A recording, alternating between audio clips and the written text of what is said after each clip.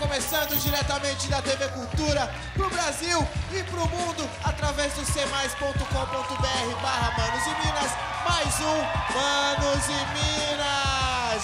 É ou não é, meu parça, meu fiel escudeiro, lado a lado comigo, DJ Eric J. Rapaziada, começando Manos e Minas com agito Vamos que vamos que o som não pode parar, como já diria o mestre Taíde. Se liga no que tem no programa de hoje.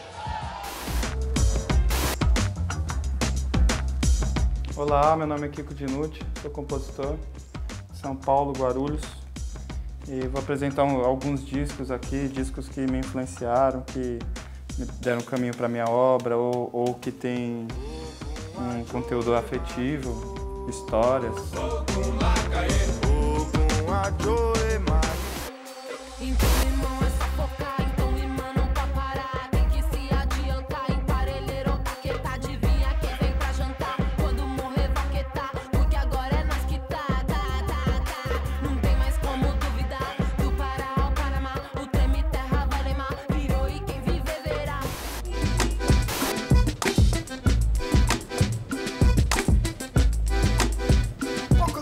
E aí, manos e minas, firmeza? Hoje eu tô aqui na zona oeste da cidade de São Paulo, na Vila Madalena. Hoje eu vim para cá para conhecer alguns dos 100 orelhões pintados dentro de um projeto muito legal que está espalhando arte por toda a cidade.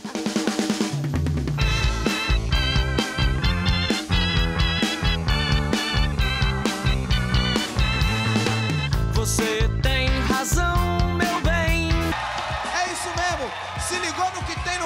Minas de hoje? Eric J hoje tá da pesada. E da pesada também aqui no nosso palco. Aí, vou chamar um grupo que é o seguinte: uma banda que já tem mais de duas décadas de correria na cena musical nacional, certo? Eles deram uma pausa, mas voltaram com força total esse ano no Festival Lollapalooza. Tem seis discos gravados das ruas do Grajaú pro mundo. Aquela polêmica da máscara, vocês sabem de quem eu tô falando? Barulho Manos e Minas com vocês, Pavilhão 9!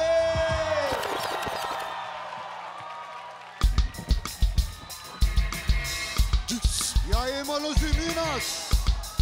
Todo mundo agitando aí? Segura a onda, sangue! Vem! Então! Manos e Minas, todo mundo agitando aí! Pavilhão 9 na área!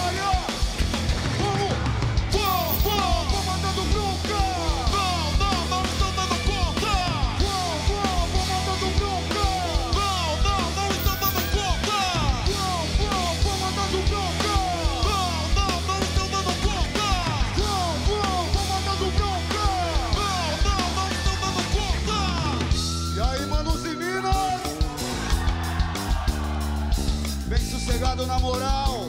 Pavilhão 9 na área. Aliado 12. Pavilhão 9. Digam.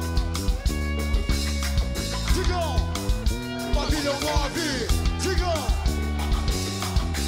Digam. Pavilhão 9. Digam. Digam.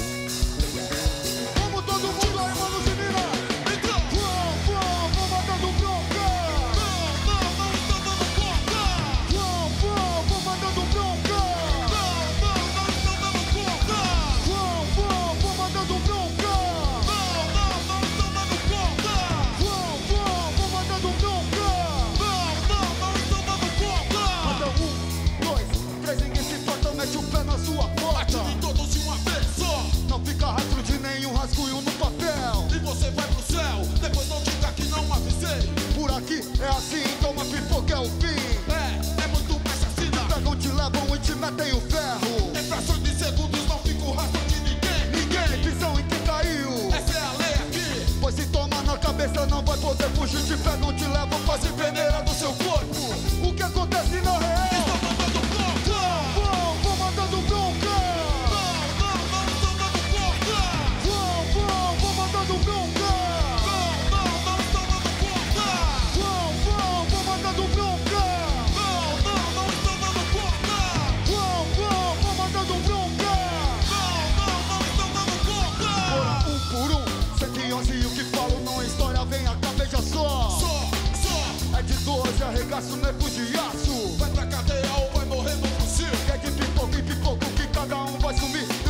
Correm apanham, apanham demais. Demais, demais. Eles tanto pegam, te levam, desovam o seu corpo. Periferia, coisa de louco. Se liga e se sabe, escape ou será metade ou irá para o xadrez. E do dão um cheque mate, polícia. Estão nas ruas, dizem ser a lei. Mas o que fazer na verdade?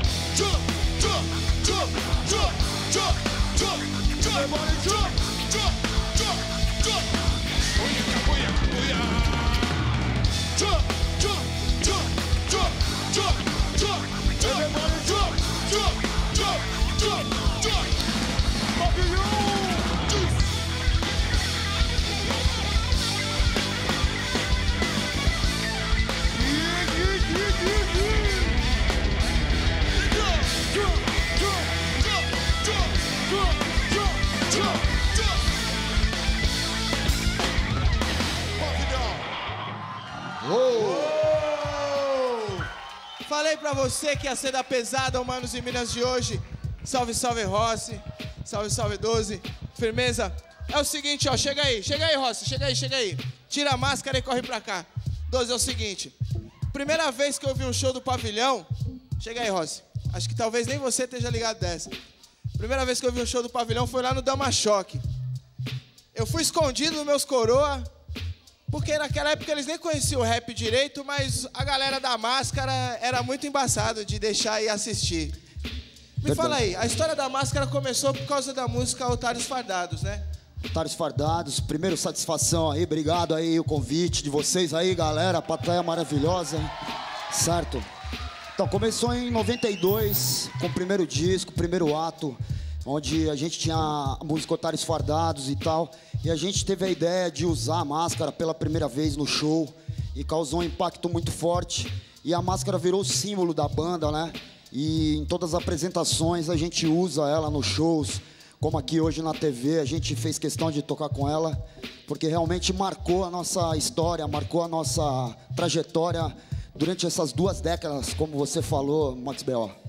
Então, pra gente é sempre legal usar, sendo que em 2001, no Rock in Rio, a gente tirou a máscara, deixou de usar, mas a máscara sempre acompanha a gente nos shows, na, pra onde a gente vai, na- nas entrevistas e tudo. Na verdade, a máscara virou um símbolo, um Virou um símbolo, da símbolo, banda, que representa aquelas pessoas que não pode dizer que a gente, que a gente fala nossas letras aí. Classe A. Ela deixou de ser um, um elemento do visual tal, mas ela continua sendo um símbolo do, do coração de vocês e da mensagem pro público, né? Sem sombra de dúvidas, Zé. E me fala uma parada. Não só vocês, mas a maioria dos grupos de rap, tipo, conseguiram expandir esse lance de não tocar só na periferia, tocar em grandes casas e em grandes festivais, como vocês fizeram no Lollapalooza. Como é que vocês encaram essa, essa nova, essa mudança, esse novo tempo no rap e tal? Eu acho que o rap, a gente já imaginava quando a gente começou lá atrás, em 90, começo, final dos anos 80, a gente já sabia que o rap aqui no futuro ia ser uma coisa mais conhecida e tal, né? E o pavilhão a gente está retomando as atividades, a gente estava há cinco anos sem tocar, sem fazer show, e a gente recebeu o convite do Lollapalooza, juntei aí o Marcelo Munari, DJ EB, Fernando Scheffer, Marinho, Ortega e o 12, que é a formação oficial. E hoje é um momento novo do rap, com a internet, com, com os meios de comunicação. Acho que ficou mais fácil de divulgar. Tem muita gente boa também fazendo música, fazendo rap. Então a gente está contente de atravessar esse tempo e chegar até aqui fazendo música, que é que a gente mais gosta de fazer, né? E depois desse, dessa pausa aí, cinco anos, juntar toda a rapaziada, uns fazendo projetos paralelos, outros fazendo outras coisas, você também fazendo sua parada solo. Como é que é? Todo mundo na mesma disposição para ensaiar, para ou tem que ficar pegando no, no pé de Agora, alguém? agora já tá mais o tiozinho, Munari, né? a gente tá, o Munari, o Marinho, a gente tá ligado, o Ortega, o Munari já estão mais tiozinho, mas tá todo mundo Todos nós. chega no horário na ponta do bigode, né? Não, mas eu, é, a gente até comentou, a gente achou que ia estar até enferrujado pelo fato de a gente não estar tocando há muito tempo, mas quando a gente se juntou, já é uma coisa que já está no sangue, já foi fácil, você viu aí hoje mandando bronca. E da hora aí, né? Fazer barulho aí pros caras aí, que essa banda é demais, mano. Certo? Da hora, B.O. Ali no, ali no lugar do Ortega, Marinho, Fernandão, Munari DJ EB, costuma ficar o Projeto Nave, que é a banda que a gente tem aqui que tira o som pros MCs. Acha que tocar com banda mexe muito no, no, no jeito de rimar ou é, é, mais um facilitador que pode ter uma paradinha imediata ali da banda mesmo, diferente do que se espera do instrumental? A gente vê que a resposta da plateia é imediata, é mais animação, claro. Mas e aí, com vocês dois, mexe muito com o lance do, do show e tal? Acho que fica mais orgânico, né, meu? O público reage mais. Eu gosto só do DJ também, pá, né? Formato DJ, voz, é duas coisas diferentes, né, meu? E, mas a banda eu acho que interage mais com a plateia e é sempre bom. To... Eu gosto dos dois jeitos, sou suspeito a falar, mas a banda realmente eu acho que empolga mais o público, né? Quando tem banda no show. É isso aí, é isso aí. É isso aí, manos e minas. Uma salva de palmas, Pavilhão 9!